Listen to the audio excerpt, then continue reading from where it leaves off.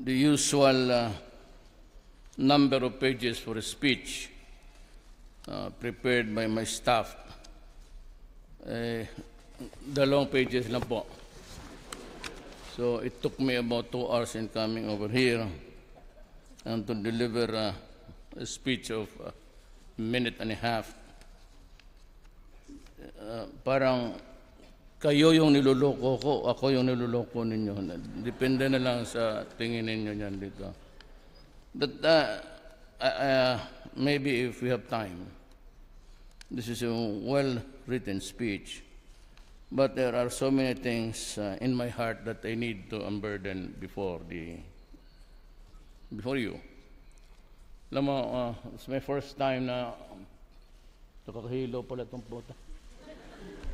It starts moving, ano ito? Ay, kikita ko lang ito sa TV. And uh, my experience with businessmen that I was invited uh, during the campaign to talk before the illustrious idiots. Tapos sinabi ko na, eh ako pa naman, uh, I'm just a probinsyano. Uh, I took up law to really specialize in criminal law. Kasi may inclination kasi ako ng criminal mind eh, so that I'd be better to assess myself when it is there. Sabi ko, I'm not a businessman. I've never been interested in business. All my life I wanted to be a lawyer, just like my father, and a prosecutor.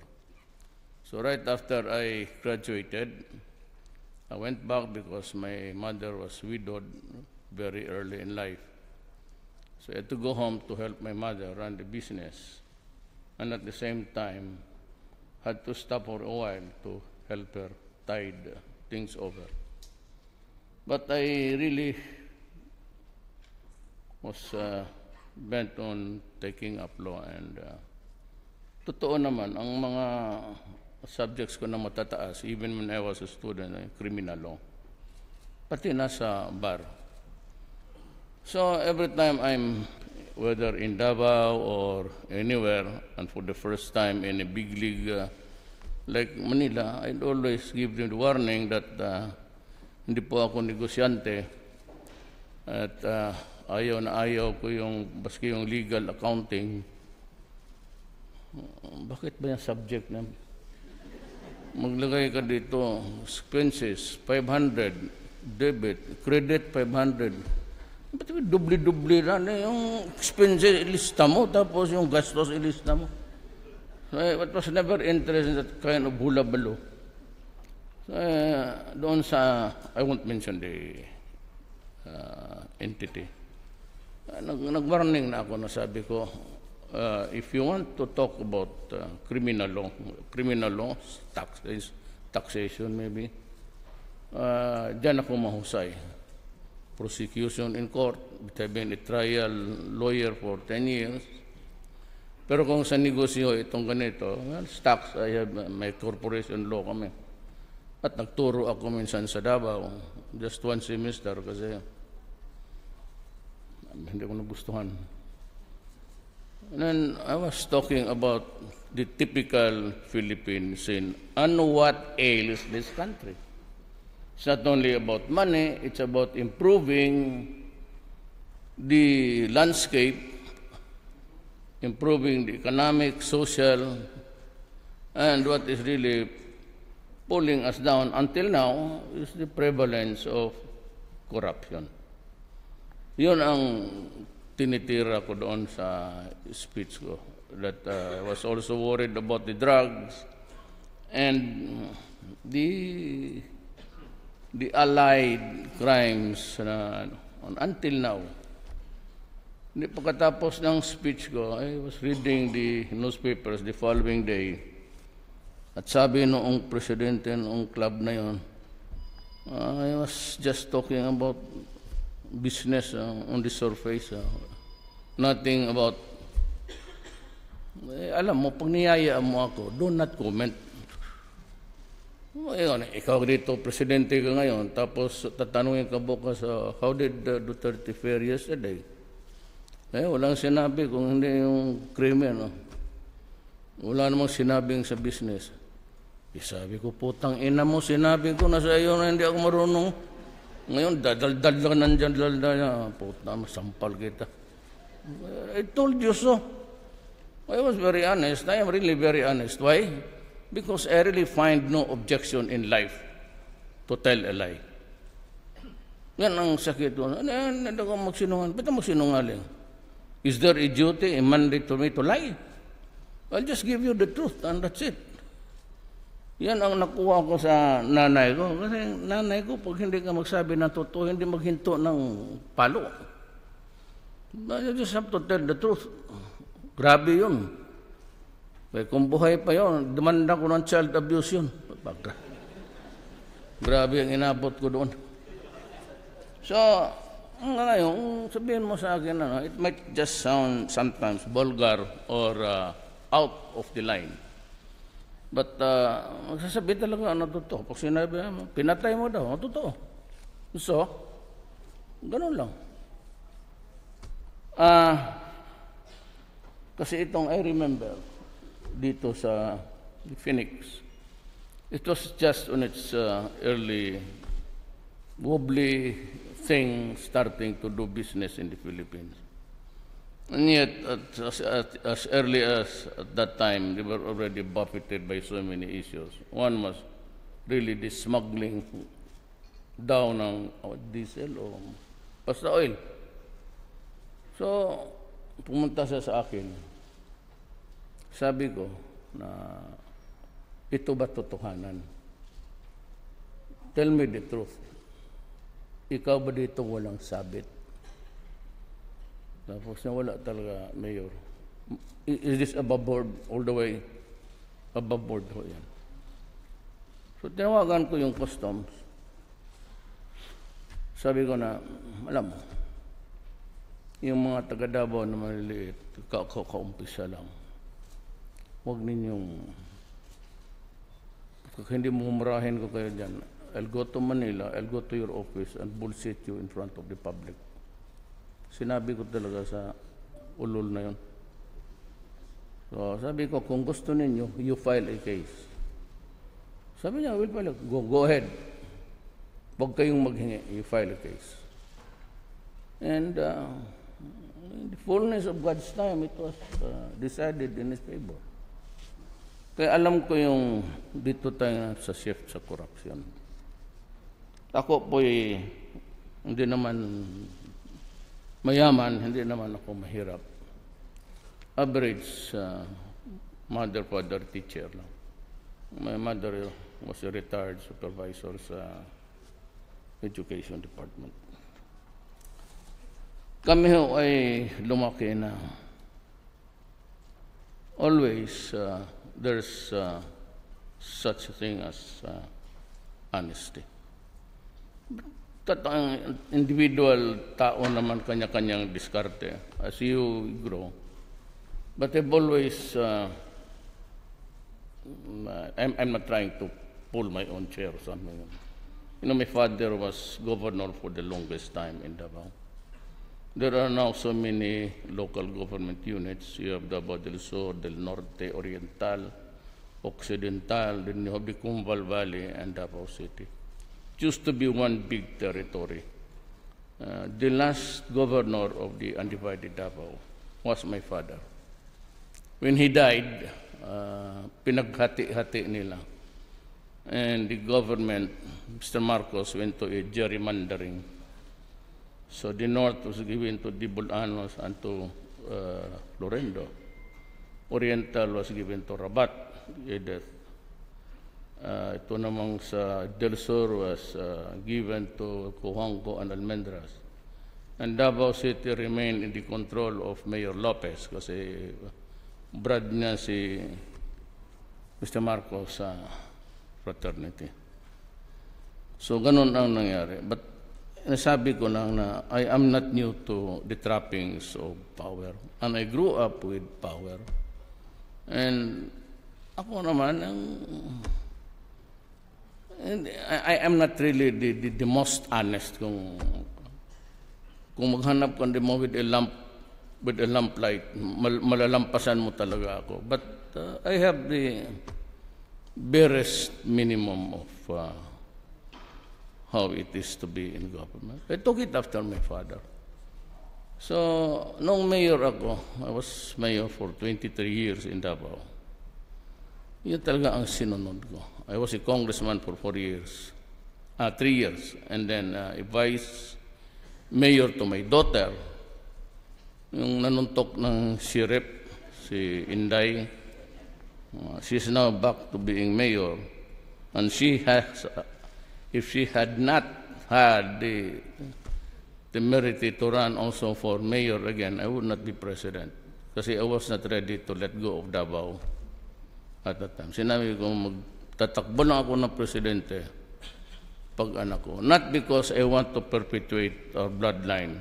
It's not that. Pero kasi ang, as they say in politics, it's all local. Alam mo, pag hindi mo talaga sigurado ang papasahan mo na tao, sayang yung sayang yung pagod mo for 22 years na you know from scratches from uh, a very topsy-turvy place naging Davao is earning would you believe it 9% growth rate. Uh, mara, lahat naman kayo napuntan Davao. Tingnan ninyo Davao. See what uh, if people just obey the laws.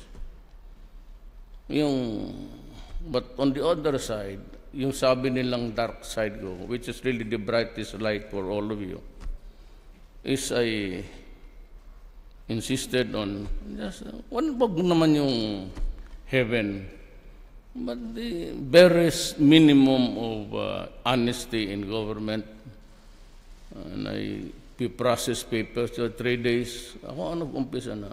Kaya nga to dito. Dito I'm flying uphill ako sa corruption dito sa gobyerno. But little by little, uh, mayayari ko ito. Uh, I think what really pulled us down all throughout the years was corruption in government. Yan ang gusto kong mawala. Kaya ako, I'd rather na makilala ninyo ako or my aide or my co-workers in government na pag may kunting kalukuhan or if there's a shakedown there somewhere, and if you think that you can negotiate more fairly with government, do not enter into itong mga ano ito. Wala itong, yung iba dyan talaga magnanakaw. I, I, I, I formed a cabinet. One month after, I fired a director. I fired a cabinet member in the cabinet meeting talagang binulshit ko for being dishonest and lying to his teeth in front of me. That's, that, that's what the may, may goat. Harap-harapan na buying a fire truck in Austria for 18 million a piece. Tanga talaga ito. And I have been warning the cabinet not to use 16. Sabi ko, wag yan because napakakurni yan. Hindi lang ninyo alam, every time you get down there sa Makati, sa Mer, ang tao nakatingin sa inyo, kung mabasa mo lang yung isip nila, nasusuka. So, I, uh, congressman, senator, bahala sila. Separate eh presidency, then you have the legislative, and then you have the judiciary. Dito lang ako pwedeng makialam sa uh, presidency. So lahat dyan na appointed ko, kaya kong paalisin anytime. Pero yung local government officials who are elected by the people, supervision lang dyan ako not control. Unlike dito sa department ko, a decision of a cabinet member or a director for that matter, kaya kong i-overrun, come up with a different opinion. Kung dito ako maka-discard. Mga kayong mga gobyerno, any the slightest termination of uh, grab, sabihin mo na kaagad, alam mo ninyo, hindi ko kaya talaga ako lang. Ang makahinto ng corruption sa gobyerno, kayo lang. Sa totoo lang. All you have to do is pag maghingi, sabihin mo lang, ito, bastusa na. Putang ina mo, bakit ako magbayad sa iyo? Na yung binabayad ko lahat ng uh, bakit ano ba, bakit ako magbayad? You assess me correctly again. And I'll pay government, not you. Yan kasi ang karamihan. Pardon me. I do not want to offend anybody. Yan, PIR, customs. O sige, maghagel ka na lang. Half the price, okay. Half the price, yung kalahati doon sa gobyerno, kalahati sa kanila. Sayang eh. Kasi kung sabihin mo lang you assess me correctly, at pag niloko ka, or if you are not satisfied, all you have to do is call 888. And you can call anybody here and ask for an appointment, and I'd be glad to face you and give you about 50 minutes mag coffee time and just tell me the truth. And I will fire. Ay, hindi ako mahilig mag-suspend, suspend. Yung taga Davao na kasama ko, who was with me since 1988 when I became mayor, uh, fired him for, yung magpaparinig lang. Okay, kung ano nang panag-usapan ninyo sa aid ko, yun na yun. So what that does mean? Uh, obviously, kung hindi ka bobo, alam, alam mo na kung anong ibig sabihin niya. So, hindi, hindi talaga pwede sa akin yan kasi ayaw ko. Baski lang naman sa panahon ko, uh, ako probinsyano, at least sa panahon ko, ma-minimize ko lang naman, if not totally, improve the economy by cutting first on, I said, what fundamentally ails this country, and that is corruption. Now, I am facing with so many problems. Uh, hindi ko na lang siguro pakilala-kilala naman niyo sila lahat.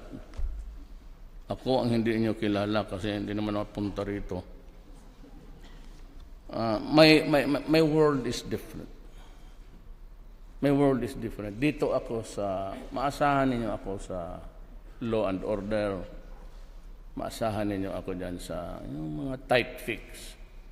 I am not the type na Makati magpunta dito sa opisina, solve problems. I am more of a field than solving problems. Like, for example, killing people. Sabi ng human rights. You know, when Davao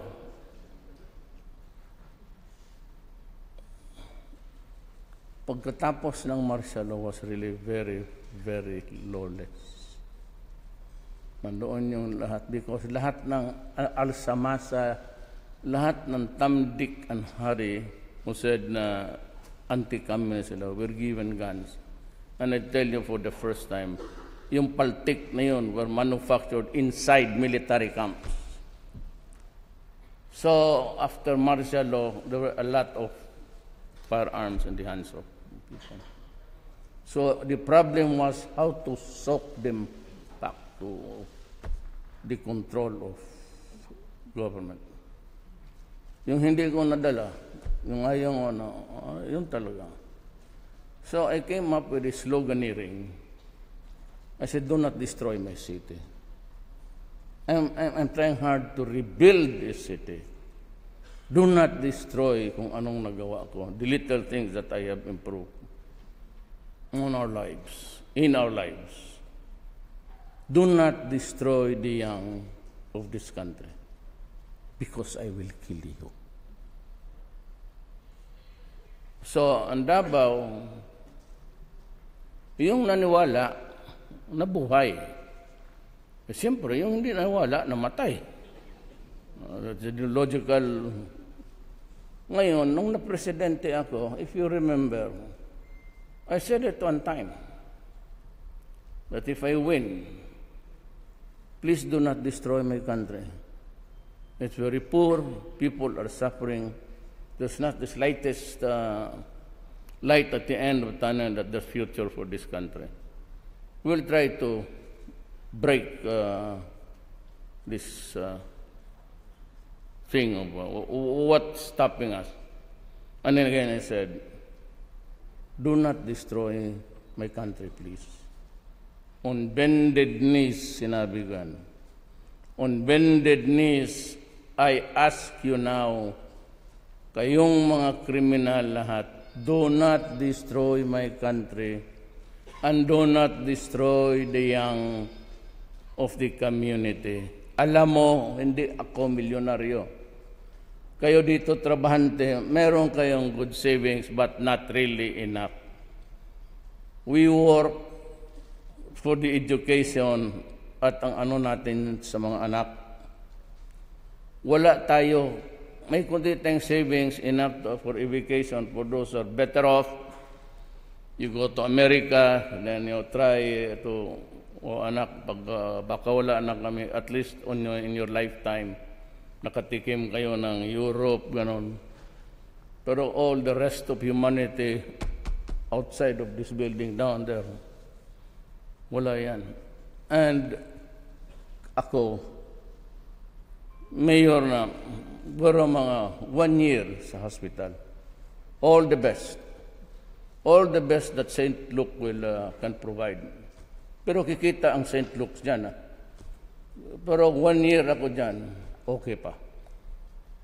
I can, oh, the, the best medical care. But after one year, hanggang dyan lang ang pera ko. I'm just giving to you a araw-araw, clean bedding, linen, and everything. Maybe it's sweet. Pero after one year,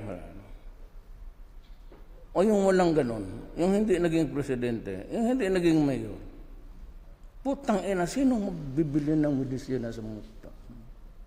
Who would buy their medicines, the antibiotics, the anti-cancer, which cost us mga 7, 8,000 per tablet? Sino magbili sa kanilang oxygen? Sino magsubok ng pagkain sa kanilang bunga? Yung mga anak natin. Kaya natin pinapaaral. Most of the experience, sinasangla pa yung na-acquire na property na mag-down payment ka dyan sa subdivision, hoping that someday when you retire, you can build it.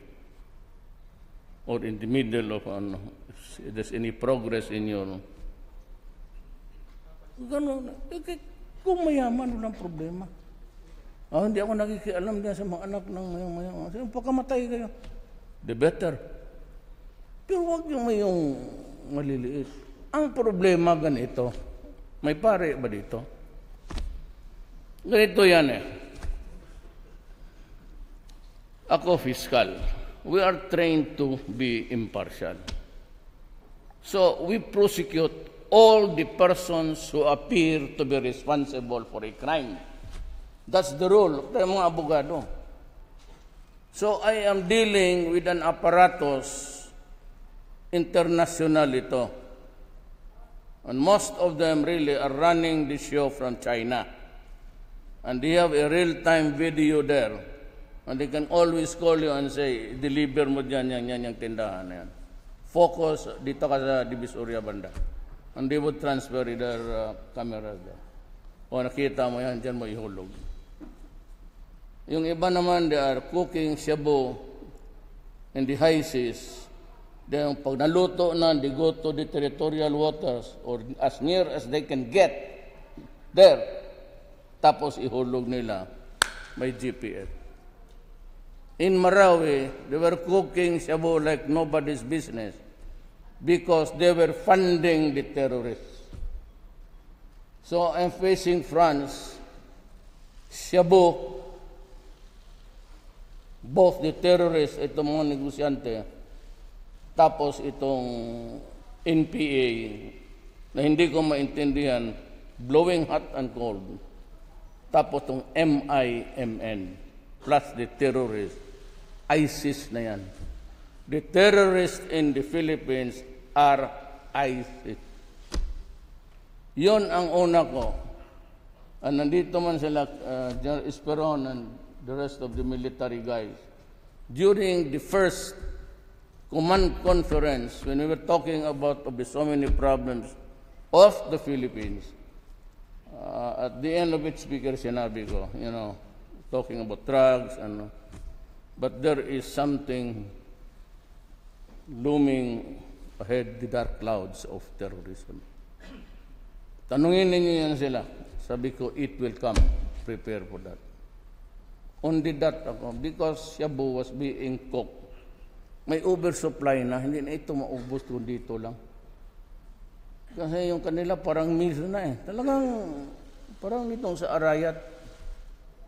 Yeah, that's more sabi ko, do not destroy the young and do not destroy. Because, kung may Shabu dito, wala naman mang-distribute dito sa baba. Eh, wala yan.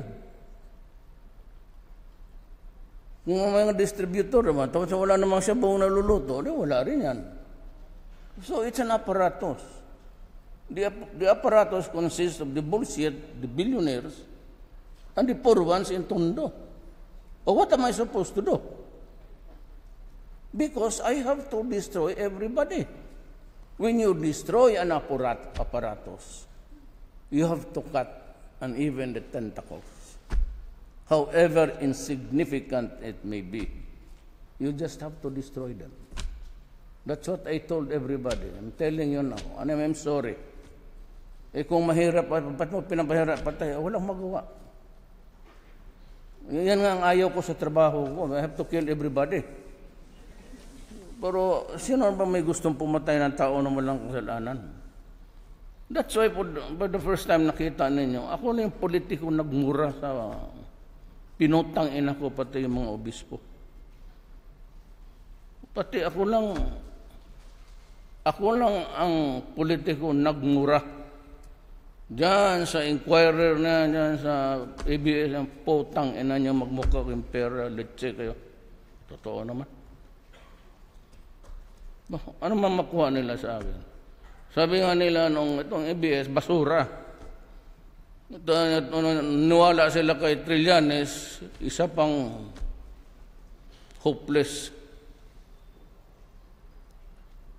211 million.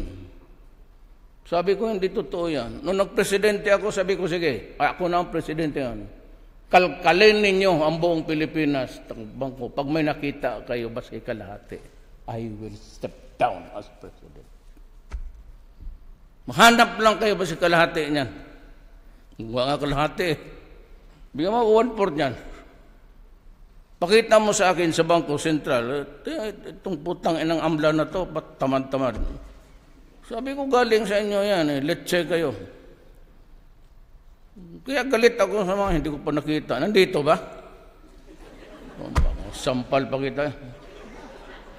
Eh, mahilig talaga ako ng pal ng tao. Yan ang totoo. Eh, do you like it or not? Ganon ako.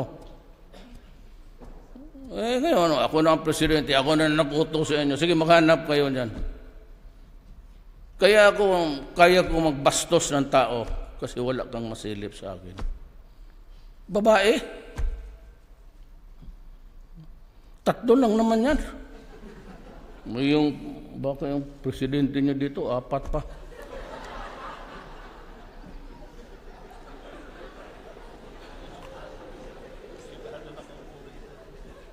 Uh, yung vice pre- yung vice president na lang kung hindi yung president. Sa drama, huwag na tayo magdrama. Lahat man tayo. We all have feet of clay. That's the problem. Yung nagaano ka lang, how deep you are stuck in that mud. But we all tread with the feet of clay. Kaya nga. So yan ang ano ko. I, I, I hope that uh, uh, things can... Uh, I need about uh, 15 more days. Ang hindi lang kasi ba't nahirapan tayo. We knew that uh, they were uh, sorts, na. But ang hindi ko talaga alam, at baka siguro hindi talaga rin namin na miss ano namin is, karami ng armas. Anak ka, hindi maubusan. This is the 45th, 46th day. Hindi maubos-ubos lalo na yung grenades. Yung ipasok dito sa yung Armalite, may tube yan. It's a grenade, but it's uh, fired from a rifle. So, marami akong... That's why I'm not in really in in, uh, in, in not my usual equanimity. Kasi alam mo bakit? You want to know the truth? Kasi ako yung nag-declare ng martial law. And I was the one who ordered the armed forces and the police to go there and fight and die. Kaya gusto ko talagang pumunta doon. The other day, I attempted again, but Marawi is always a rainy place.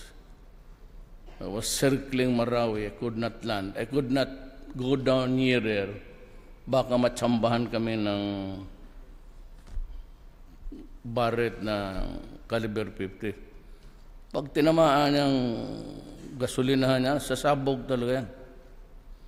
But I really wanted to be there, to be just the fighting security forces. Baski magpakita lang doon. O baski matamaan, basta dito lang sa puwet, huwag lang sa harap. Sa likod sa puwet, wala yung buto lang yan dyan. I, I'll try again, not because and it's not progadasyo. It's just, uh, ayaw ko magpunta doon na peaceful na. Gusto kong pumunta doon yung hindi naman ako maipasubo na sundalo na really basta ilayo lang ako ng konti basta I want to, to be there well there is still fighting so that I can observe but uh, I'll try to make it again this week uh, tignan ko kung but palagay ko 10 to 15 days uh, okay na Uh, but remember, the new scourge is ISIS. It will continue to haunt us uh, because of our Muslim brothers and sisters. Now, do not get me wrong. I always say this so that you'd understand what I'm saying. Ang nanay ko Maranao. Ang nanay niya Maranao. Lolo ko Chinese. But my father was a Cebuano from Danau, Cebu.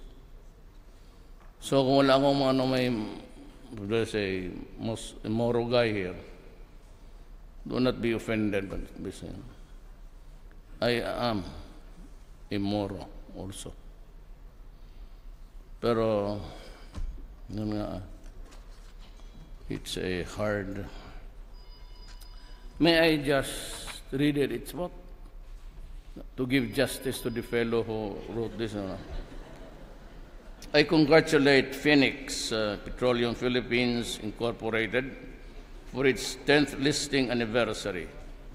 As mayor of Davao City, I personally witnessed how it grew from a single gasoline station in the city into one of the fastest growing oil companies in the Philippines. I am also grateful that you continue to share your success by spearheading socio-civic programs for the benefit of local communities. In return, we in government are trying our best to create an environment conducive to investment and establish a harmonious working relationship with investors. As a result, any new player in the downstream oil industry, in fact, in any industry, can make it big and succeed we also continue to institute reforms and implement policies that will that so that economic growth becomes more sustainable. This is part of our mission of reassuring shareholders that we do business in the Philippines with ease. As you celebrate a significant milestone, I wish the company continued success. For inspiring story exemplifies the resilience of the Filipino entrepreneurial spirit It is my hope, and it will, uh, it will encourage other companies to invest in the stock exchange, especially aspiring businessmen. May the ringing of the opening bell realize the potentials of a strong and growing economy and open up more opportunities for our stakeholders. This will allow better wealth distribution and lessen the inequality we experience today. Remember, our entrepreneurs are the backbone of a strong and competitive economy. As agents of change, I ask each of you to be more partners in realizing our goal of providing a comfortable lifestyle for every Filipino. Join us in making this nation more inclusive in the coming years. Mabuhay ang Phoenix Petroleum.